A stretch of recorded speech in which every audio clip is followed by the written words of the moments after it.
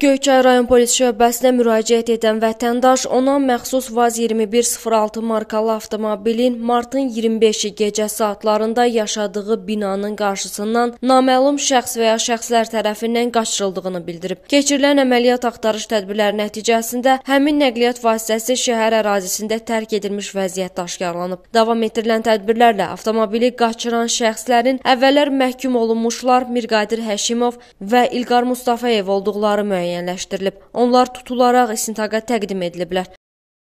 Göyçayda Nizam küçəsindən maşını götürdüm, Ağdaşa getmək idim, lazım idi. Dostumla.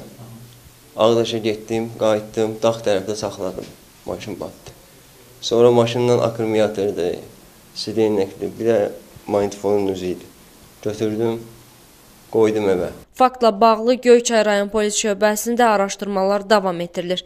Mirqəmər Mənsimova, Rəşid Rəsul, Asiman Səlimov, Səs TV Göyçay.